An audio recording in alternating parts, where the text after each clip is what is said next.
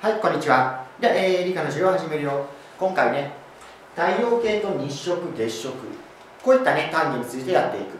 で、まずは太陽の動きから復習していこう。太陽は東から出て南を通って西に沈みます。だから、この地球儀、えー、で言ったら、まあ、こちらが南になる。太陽が来る方向が南ね。で、えー、逆側が北。それから、え、ー、と、まあ、例えば、こう登って、で、こう、こうか。こういうふうに下ってる。だから、まあ、登る方向が東で、こうね、沈む方向が西になる。ここまではまあいいよね。で、今これ3つ書いてあるんだけど、真ん中が、要は春と秋。つまり春分秋分の春分秋分の太陽の動きだ。で、えー、北寄りから出て北寄りに沈む。この動きは夏至の日の動き。で南寄りから出て南寄りに沈む。この動きは冬至の日の動きだ。ここまではおさらいだけど大丈夫かな？だから夏の日は比較的に太陽は頭の上高いところを通る。冬の日は低いところを通る。だから夏は影が短くなるし冬はこうね影が長くなる。であとね、えー、夏は北寄りから出て高いところを通って北寄りに沈むということで太陽が出てる時間が長い。一方冬はこう短い。だから夏は昼が長く冬は昼が短い。つまり夜が長いということ。だこれもいいかな、うん、こういうふうになっている。で今回ね、えー、初めて出てくるのがまず太陽の南中高度。南中というのはつまりお昼の一番太陽が高くなっている時。その時の高度角度ね、うん、これを求めることができるんだ。でえー、夏至の日は太陽が一番高いということで南中高度も一番大きくなる。冬至の日はね南中高度は低くなるね。これ角度は比較的に少ないよね、うん、でどうやって出すかって言ったらこれ算式覚えよう。まず春と秋は簡単だからね。90引く北緯を引く。だから例えば東京とかね大体36度北緯36度の地点であれば90-36を引いて、えー、54度。だからね東京あたりでは春分秋分これいつか分かってる？3月の、まあ、20何日かね。9月の20何日か21日とかそのあたりね。でそのあたりの日は太陽はだいたい54度。地面から54度上のところに南中する。つまりお昼の約12時に54度の場所にある。90から北緯を引けばいいだけ。だから場所によったらね、えー、北緯が上北海道のとことかね北緯が高いところもあれば、えー、南のね沖縄とか行ったら北緯がひち、えー、えー、北緯が小さくなる。だから自然と太陽は北緯が小さければ太陽が高くなるね。いいかな。で次ね夏至。夏至は高いところを通っている時。これは今やった54度90引く北緯という54度に23.4を足す。23.4は覚えてね。234ってね覚えやすいから。これね何かって言ったら地軸の傾き。これね今地球があって、えー、太陽との交点面がこうあるとするよね。で交点の面と地軸との傾きここが23.4になる。一方こっち側23.4と反対側は90から23.4たら66.6ってこれまた覚えやすい666の数字になる。で、えー、この計算に使うのは23.454と23.4を足し算すると、えー、77.4か。持ってるかな。だから夏は春とかに比べてやっぱり、えー、高くなる。77.4の、まあ、90度が真上だから、まあ、比較的に高い位置にある。で一方当時冬は逆に引き算する。さっき出した54から23.4を引き算する。何度だ？30.6か。っていう感じでね。太陽は低いところを通る。これね計算式覚えてね、えー、90引く北緯。それから90引く北緯足す23.4 90引く北緯引く23.4度。この算式によって南中高度太陽の南中高度を出すことができる。いいかな？大丈夫かな？ここまで。じゃあね、えー、次下ね。これ何書いてあるかって言ったらちょっと3つ地球を書いた。で地軸の傾きがこう傾いている時まっすぐの時逆に傾いている時3パターン作った。これ今から説明するんだけど何かって言ったらこの春分秋分もしくは夏至冬至の日の太陽のがどこを照らしているかをちょっと説明する。まず例えばうんとどうしようかな。これ夏至。これ夏至でこの真ん中に書いてあるのが春分秋分。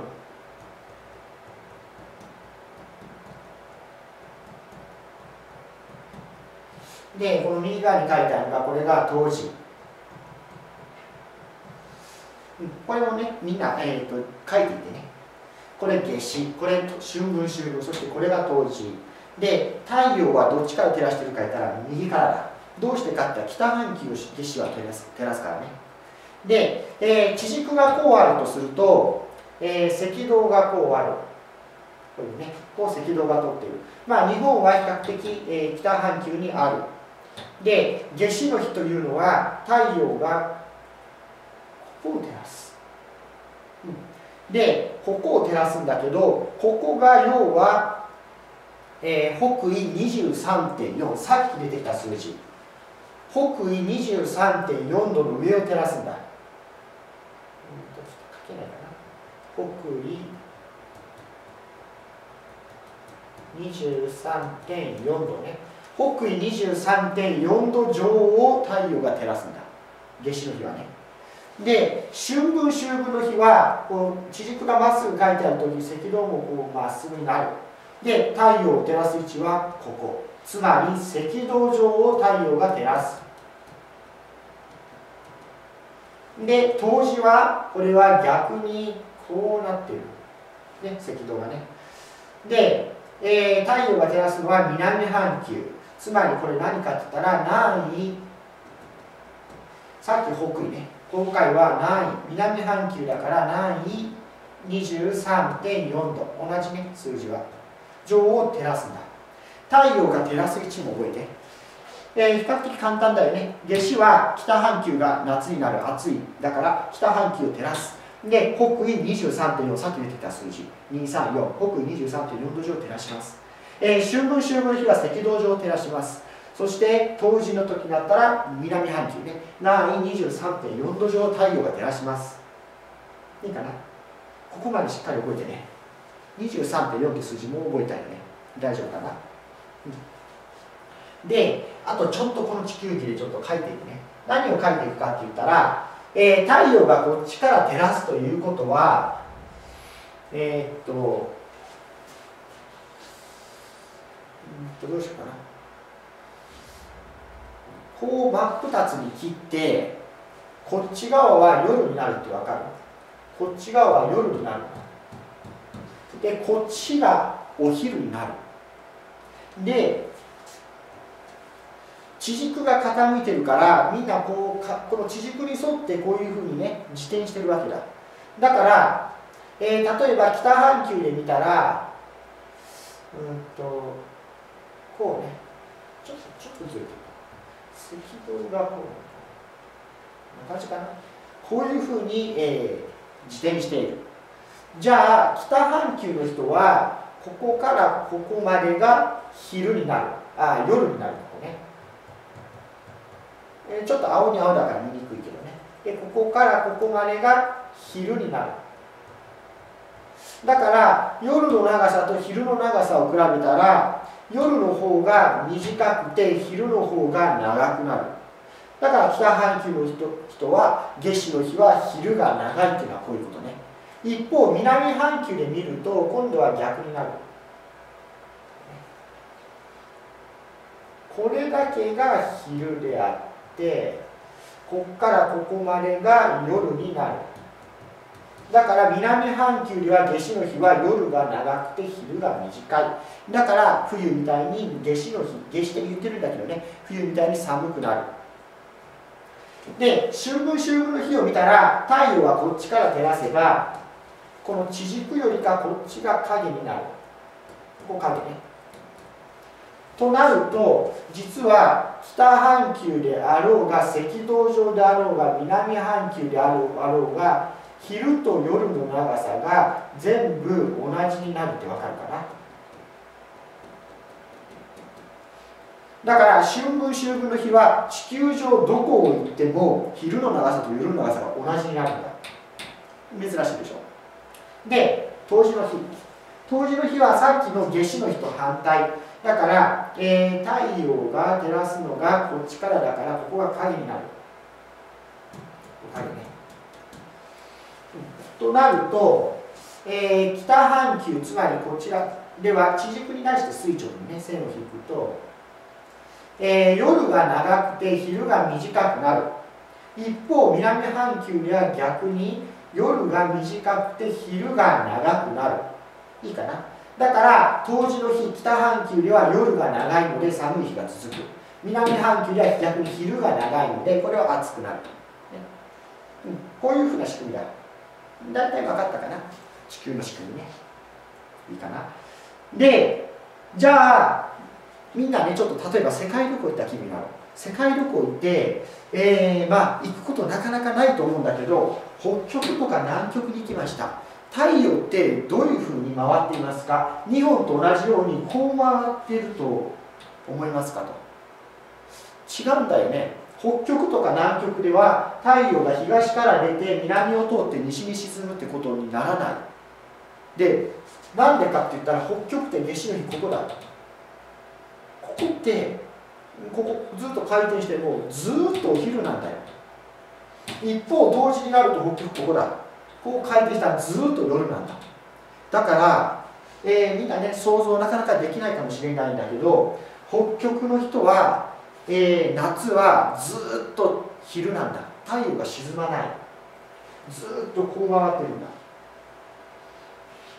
で冬になると逆にずっと夜。日が昇らない。ずっと夜なんだ。一方逆に南極は正反対。南極は、まあ、夏至の日ね。要は6月7月とかなると、えー、ずっと夜になってて一方12月とか要は冬至の日になると逆にずっとお昼になってる。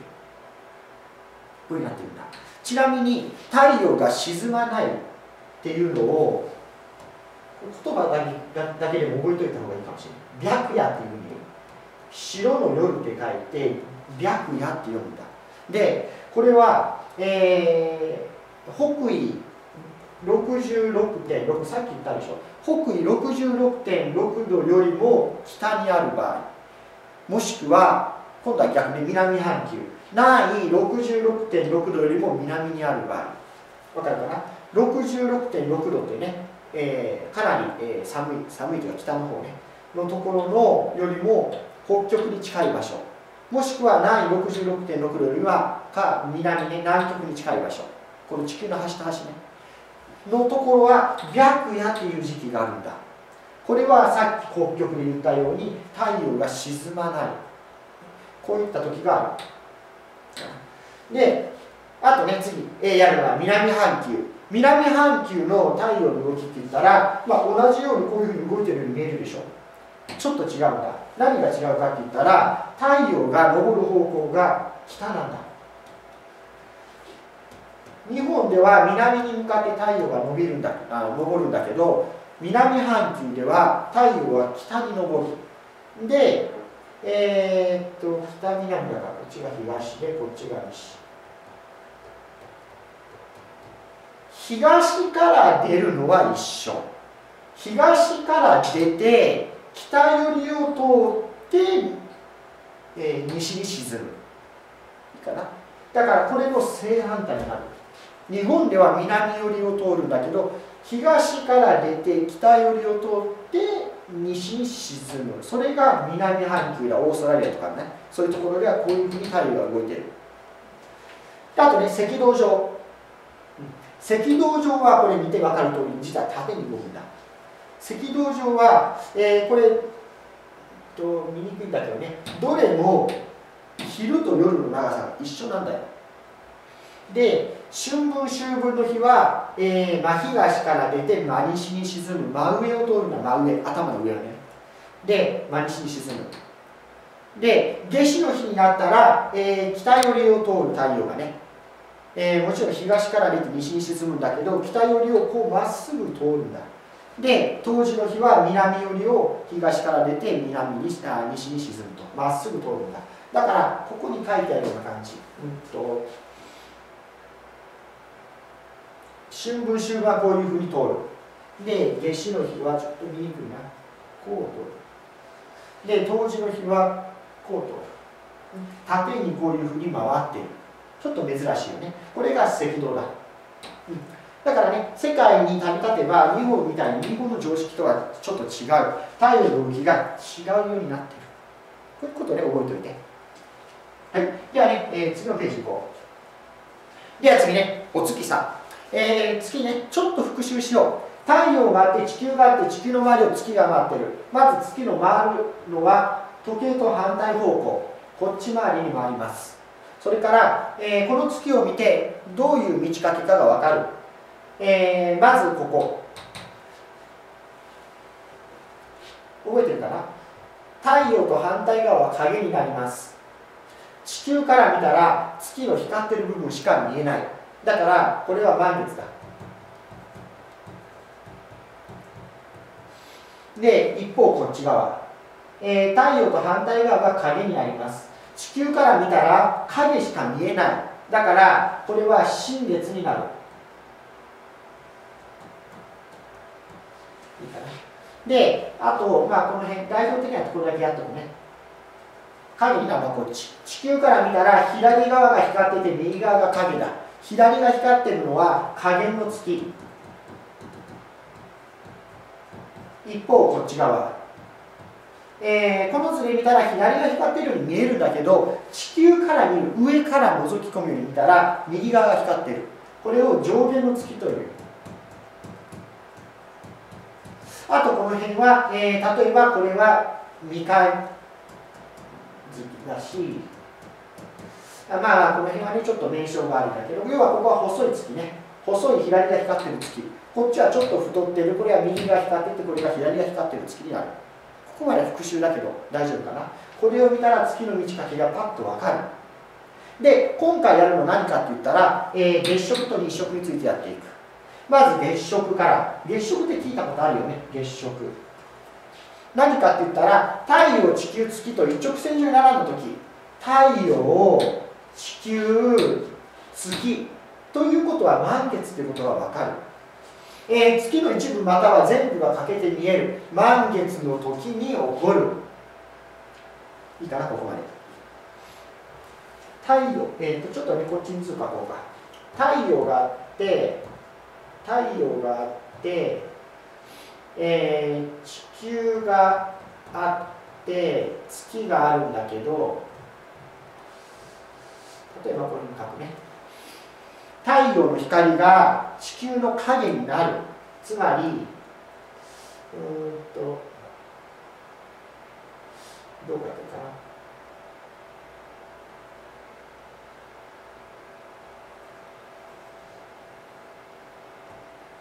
こういう感じかな地球の太陽の光が地球の影になって月にここに地球の影が映るんだ。地球の影がね。地球の影が映るから普通は光ってるところしか見えないんだけど地球が影になってて月が欠けちゃうんだ。で全部または一部が欠けるって書いてるんだけどこれ覚えておいて。まず、えー一部がかけること。これ部分。部分月食という。それから全部がかけること。えー、っとこの辺でいいかな。皆既月食という。この名称も覚えておいて。一部がかけるのは部分月食。全部がかけるのは皆既月食という。でじゃあ満月になれば常に月食が起こるんかっていうんだけど実はそうじゃない。月食が起こるのはとても珍しいことだ。でなんでかって言ったらこれ今もう太陽と地球と月すごく近くに書いてるけど実際にはめちゃくちゃ離れてる。で地球がどういったらいいかね。まあイメージとしてね。えっ、と太陽があって真横から見るよ。太陽があって地球があって太陽の周りを地球が回ってるんだけど地球がこうねこの平面上をこう回ってるとするこうね回ってるとするで月は地球の周りを回ってるんだけど月が回ってる平面ってわずかだけどこうずれてるんだ太陽とね。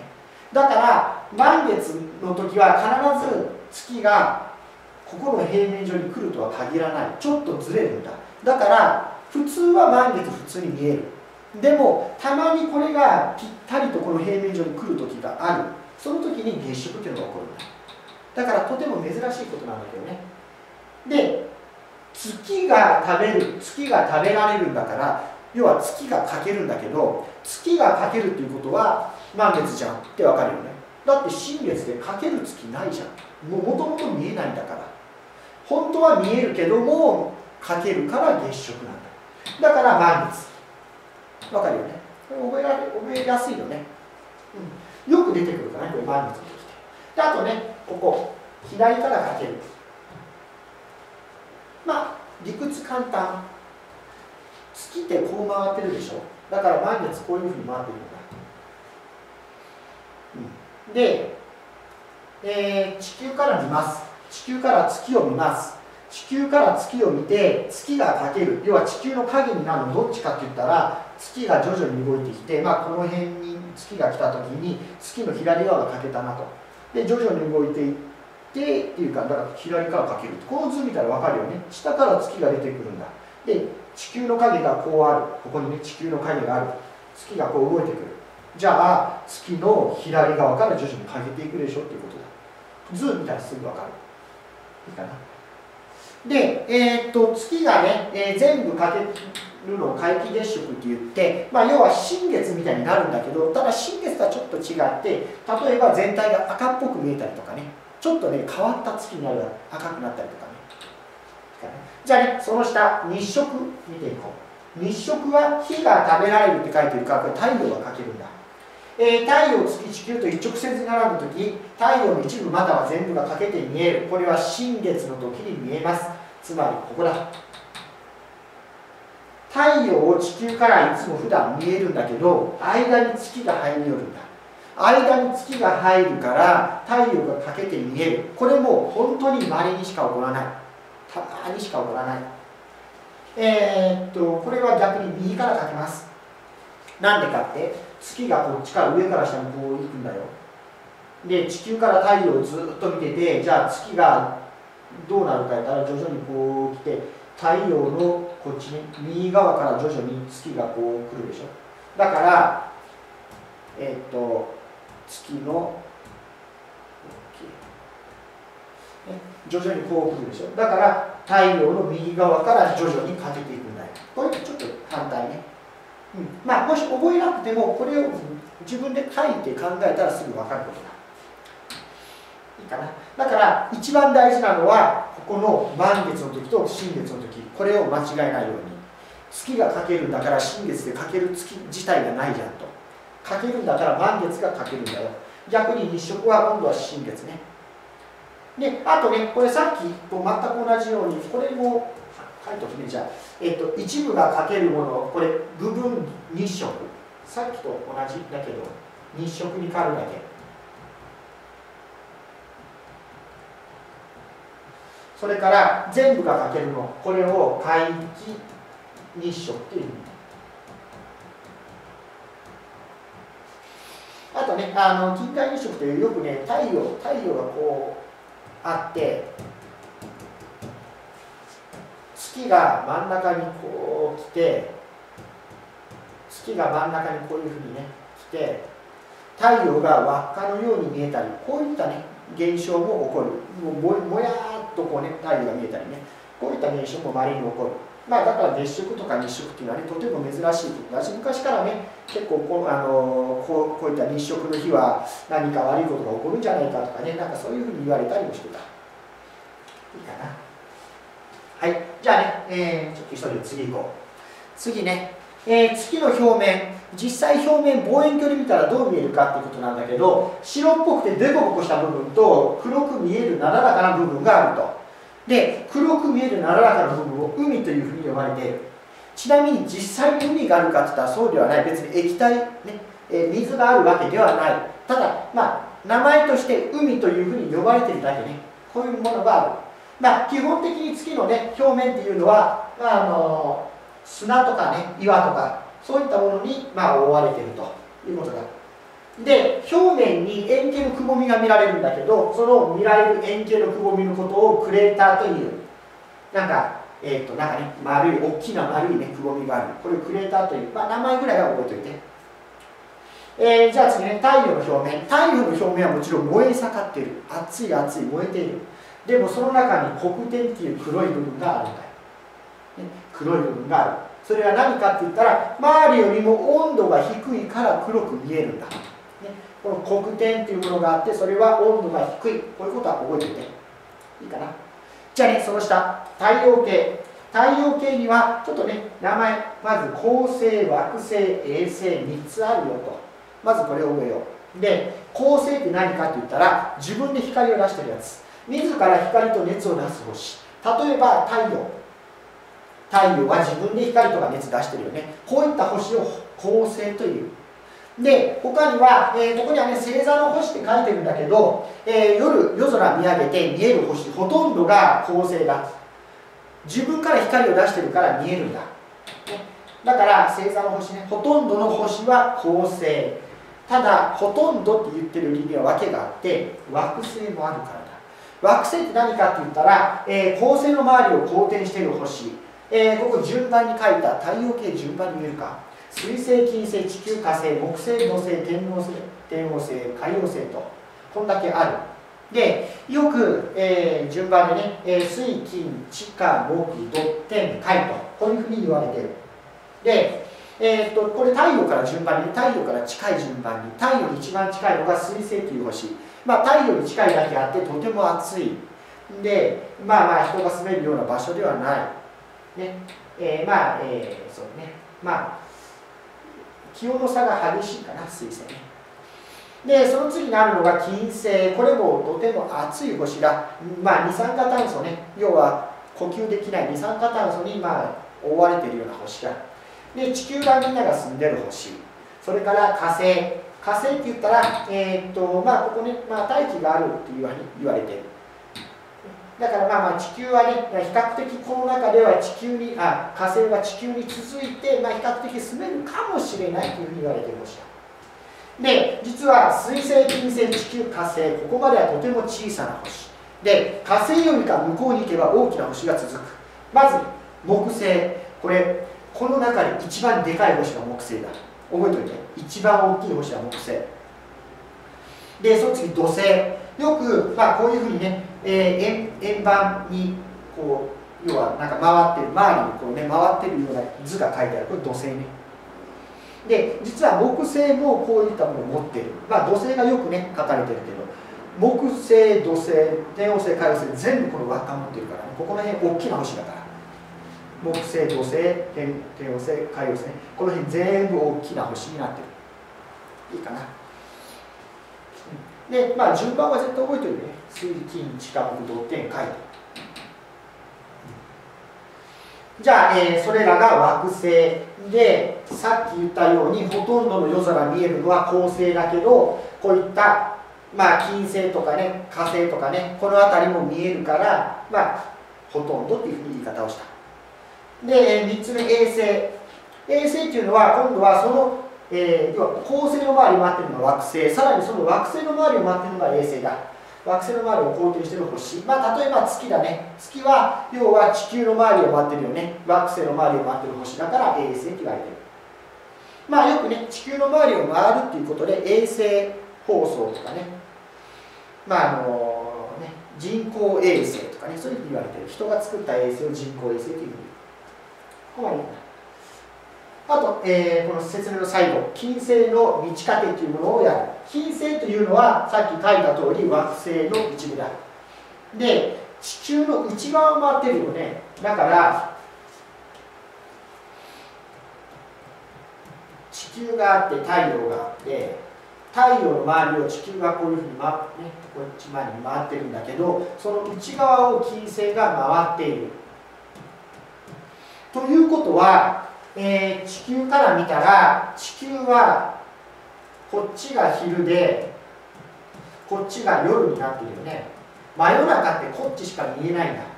だから金星は真夜中には絶対見えない。わかるよね理屈。昼にしか見えないんだ。だから金星は夜中に見ることはできない。じゃあいつ見えるの？昼って明るいから見えないじゃんと。じゃあいつ見えるのって言ったら、えーと要はここだ。えーと、朝か夕方。そういう時に見える。だから、えー、夜から昼に向かうここが朝なんだけど朝の地点にこの辺にある金星は見ることができる。もしくはここ夕方。夕方の地点でも見ることができる。で、えー、よくね、えー、明けの明星とか宵の明星というふうに言われている。要は太陽が沈んで一番初めに明るく見える星、ね、夜の明星。で明けの明星ね。朝方明るく見える星。夜の明星明けの明星と言われてるのはこの金星になる。でここね地球に近いほど細くて大きくなるって書いてるな。これどういうことかって言ったらうんとちょっと書くとこなんだけどつまり金星というのは、えー、これね月と同じように満ち欠けをするんだ。で道かけをするんだけど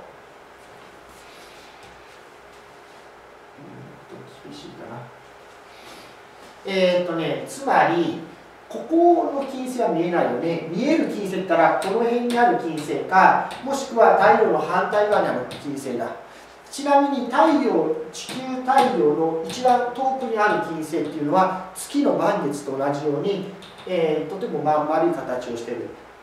で朝ギリギリこう見えるねこの辺の金星ね。はやっぱり満月みたいに満ち欠けでは太くなる。太くなるけど地球から遠いから小さくなる。で一方ここで近くにある金星。近くにある金星は地球から近いから大きく見えるんだけどただここって欠けるでしょということだ。だからすごいこう細い金星になる。細くて大きな金星ね。まあまあ要はこういうね細くて大きな金星。で遠くに行けば、えー、小さいけどこうね、えー、丸い金星になるっていうこういうことね。いいかな。はいじゃあね、えー、問題いこうか。では1番から4番までこれをね映像一旦消して始めてください。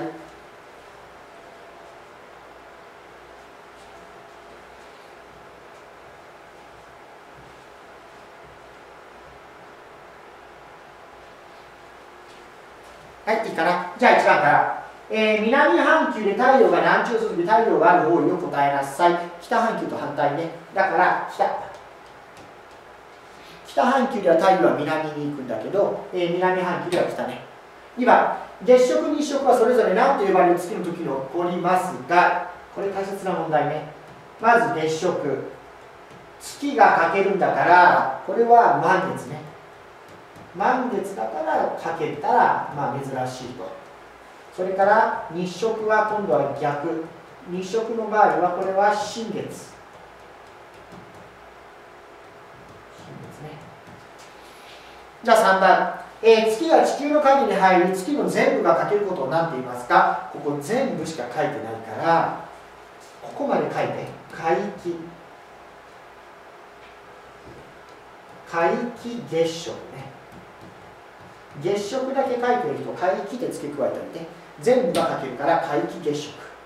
それから4番。日食の時太陽はどちらからかけていますか？さっきやった図見たら分かる。日食だからこっちがね。太陽がかける。どっちがかけるかやったらこっちから月が入っていくだから右からかける。これね「い」が答えできたかな？はい。じゃあね、えー、次の問題と問題の2番これは4台あるいいかなじゃあこれもやっていこうじゃあ映像一旦で始めてください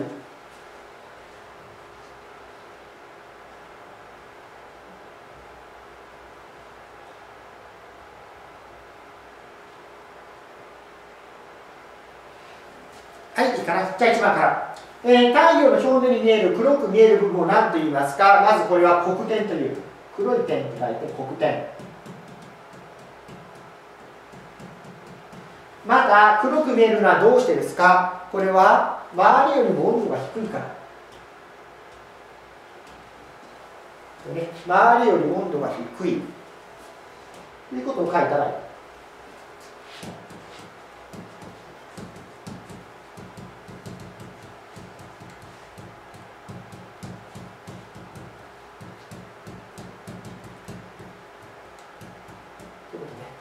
2番太陽のように自ら光を出す星を何と言いますか？これは恒星ね。それから3番。良いの明星明けの明星と言われる星は何ですか？最後にちらっと言ったよね覚えてる。金星。そして最後4番。太陽系の中に最も大きな惑星を何と言いますか？これも大丈夫かな？木星ね。木星が一番大きい星だからね太陽系の中ではね。はいいいかな。はいではね、えー、今日の授業はこれで終わります。